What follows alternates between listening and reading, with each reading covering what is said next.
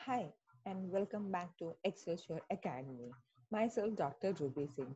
so, आज मैं लेकर आ रही हूँ जो काफ़ी पेरेंट्स के मन में बहुत सारे डाउट्स रहते हैं कि like how to become a doctor और scientist in India because at the end of the day they both put the title doctor in front of their name तो क्या अंतर है किस तरह से बना जाता है कितने साल लगेंगे इस चीज़ को पाने के लिए ये आज हम जानेंगे एक छोटा सा topic just to make sure कि you all people are aware of it right?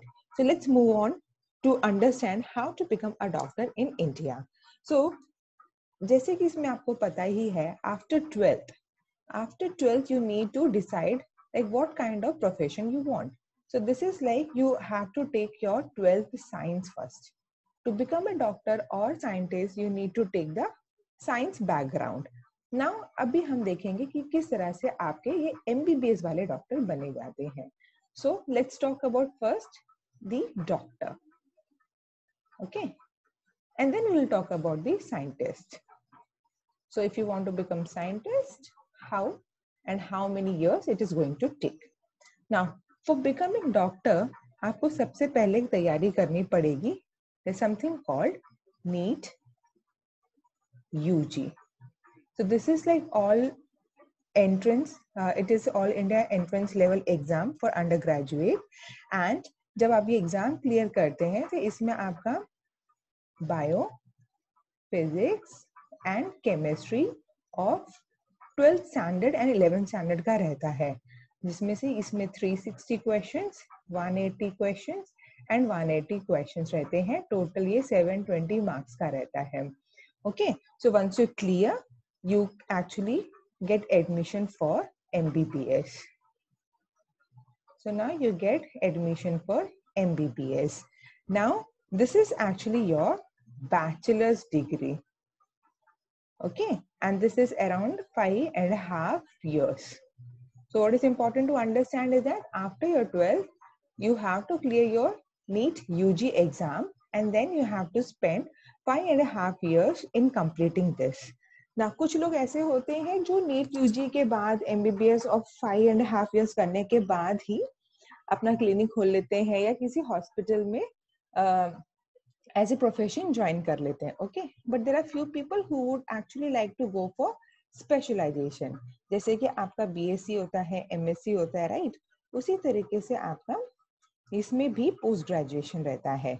So after that what you have to do is something called NEET PG. Okay? ना इसमें आपको स्पेशलाइज फ़ील्ड सेलेक्ट करनी पड़ती है। So that is like again यहाँ पे दो तरह के हो जाते हैं।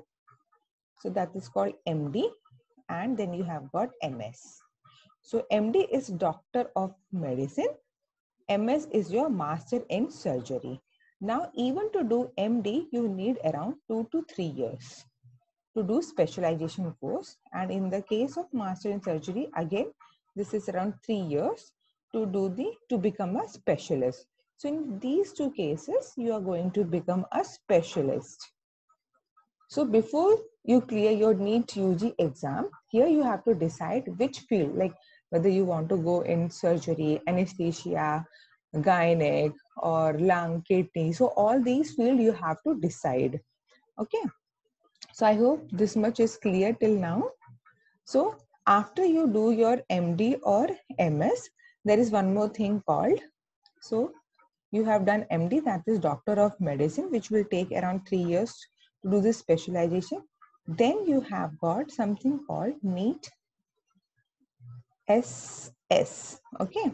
So there you actually go for DM, that is Doctorate in Medicine. This will actually, this is your doctorate in medicine. Okay, this will take another three years. Here you can call yourself as super specialist. So you're already a specialist or specialized in one particular field. Now you'll be called a super specialist. Okay, so this is all how you become a specialized surgeon or specialized doctor of that particular field. Let it be a gynec or lung or cosmetic or bone or dentist and all. Everything is there. So you have to decide yourself like which all field you would like to become. So this was all how you become a surgical doctor. Now let's talk about scientist.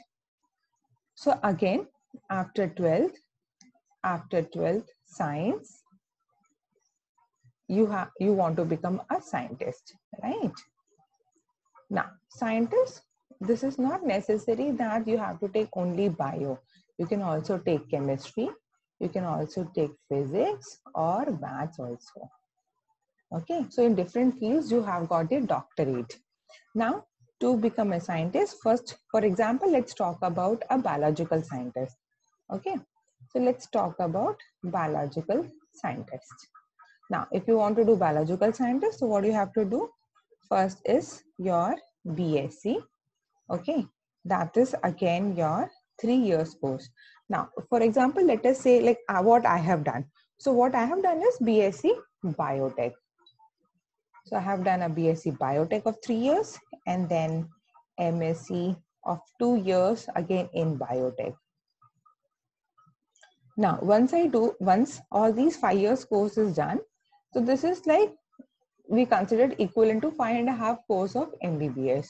So this takes your five years. Okay. Now, once you clear your MSc, after your MSc, there are certain national level exams. So national entrance tests are there. For example, what I have cleared is CSIR UGC NET in life science. Okay, so there are many, like many of my friends and colleagues are there who have done in chemical sciences, so you, they, you also have physical sciences and mathematical sciences. Okay. Now, once you do this thing, then you apply to various institutes where all this research and development is carried out. So there you give your interview. Like why you want to join that lab, what is the interest, what kind of work you're interested to do. So such questions will be asked during your interview and this will be taken by the senior scientist. Okay. So all this will be taken by the senior scientist of the institute. Now, once you get selected in that particular institute, then you have to do your PhD, that is Doctor of Philosophy. Okay. Now, this, so the government gives you five years scholarship for this, but sometimes it may extend to six to seven years, depending on how fast you write your thesis. Believe me, writing thesis takes the most of your time and energy. Now, once you complete your PhD, then there's something called PDF.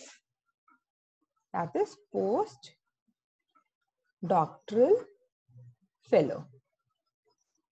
Okay, so this either you can do in India itself or you can go abroad.